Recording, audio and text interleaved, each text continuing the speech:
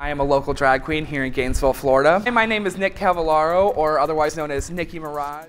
Not every drag queen likes to connect their personal life with their drag life, so they'll use their drag name publicly. Um, Rachel Boheme, for instance, just likes to be known as Rachel Boheme and doesn't really go by her real name. I, for instance, don't even know her real name. He still comes out to the clubs out of drag sometimes to go to other people's drag shows. I've seen her out of drag before. Most of everyone downtown at like the University Club or when I go out knows me as Nikki.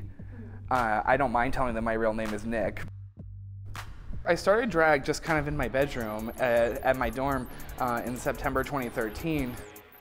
So getting ready, say for a downtown drag show, our show time is 11 p.m. I need to be there by 10, so I start shaving usually around 6-ish, 6, 6, between 6 and 7, and I try to sit down and start doing my makeup about 7 o'clock, 7.15. It takes me about two hours to do my face, but I like to give myself two and a half, three hours just in case something happens or I need to start over or just so I don't feel stressed for time.